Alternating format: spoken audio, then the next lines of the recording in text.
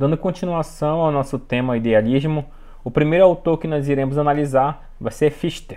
O Fichte ele vai ser um dos mais radicais kantianos da sua era, porque ele vai transformar as teorias kantianas na sua forma representativa em uma doutrina da ciência. O que, que ele vai fazer?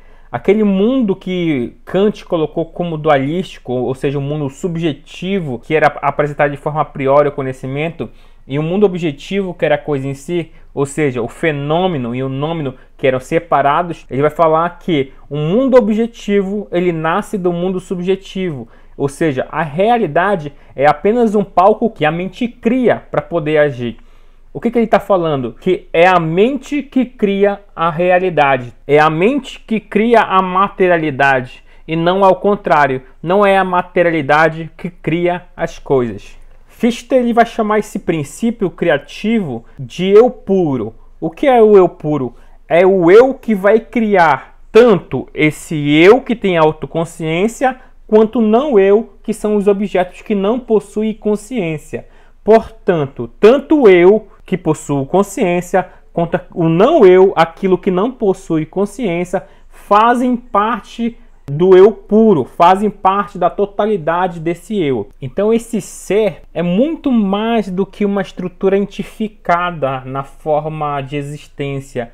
Ele é muito mais uma liberdade pura. Ele é uma pura possibilidade. Ele é uma possibilidade infinita e ilimitada. Ele pode ser toda a possibilidade. Então, determinando pelo próprio pensamento de Fichte, o que é o eu puro? É a atividade autointuitiva que, por meio da imaginação produtiva, livremente se autopõe e, se autopondo-se, cria toda a realidade. Bom, podemos perceber que essa afirmativa ela é um pouco complicada para ser interpretada, mas o que, que ele quer dizer? que a criação de tudo vem justamente de uma imaginação produtiva, ou seja, de uma consciência que cria. E pelo fato dela ser livre, ela coloca a si mesmo como criação e colocando-se como criação existente, ela é a própria realidade. Identificando isso de uma maneira mais crua, seria tudo aquilo que existe é uma consciência. Portanto, todos os objetos, tanto aquilo que não tem consciência quanto os indivíduos que possuem consciência, fazem parte de uma consciência total que as criou e que as somos chamada eu puro. Sabendo disso, vamos explicar agora a movimentação dessa consciência chamada eu puro.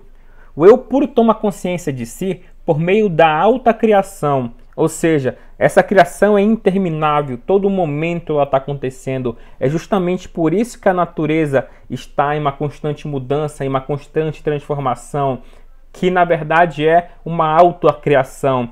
A natureza está se criando tanto como matéria, tanto como não eu e tanto como eu aquele que possui a consciência. Então, esse processo de transformação e modificação que nós podemos encontrar na natureza, como vida e morte, na verdade é um processo de alta criação. A natureza está autocriando-se através daqueles elementos que não possuem consciência, chamada não eu, e daqueles que possuem consciência, chamada de eu. Portanto, o eu puro, ele é o absoluto e o original. É dele que deriva tudo. Ele é o absoluto e original, onde no primeiro momento ele cria si próprio e no segundo momento ele cria o não eu. Mas lembrando que tanto o eu quanto o não eu são parte desse eu puro. Então aqui nós encontramos uma diferença grande dentro da teoria kantiana, porque enquanto Kant fala que nós não podemos conhecer a coisa em si, Fichte ele vai falar que o eu puro é a própria coisa em si, portanto, nós somos parte da coisa em si e assim nós temos acesso de contato à coisa em si. Portanto, para concluir sobre Fichte, o eu, ele cria o não eu, que é a própria realidade. Porque se ele não colocasse esse não eu, não existiria um mundo, porque é o mundo que é o não eu. Eu sou esse que percebe e o mundo é aquilo que eu não sou. Mas por que ele coloca isso? porque é um mundo que vai definir as relações de superação do sujeito. O sujeito é um ser para ser no mundo. Exemplo que nós podemos citar aí é a própria construção de Fichte sobre a dimensão da realidade.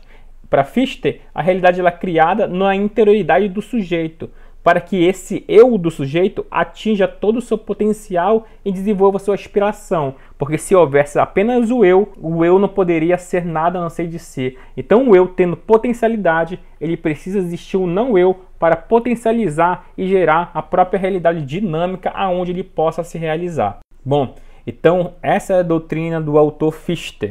Então, além do vídeo anterior da introdução ao idealismo, nós temos tendo agora o vídeo sobre Fichte e ainda iremos ter um vídeo sobre Scheller e outro sobre Hegel, para não complicar essas teorias que em si só já são bastante complexas. Então, qualquer dúvida, leia o seu material no livro ou me procure no WhatsApp que eu estarei esclarecendo qualquer dúvida.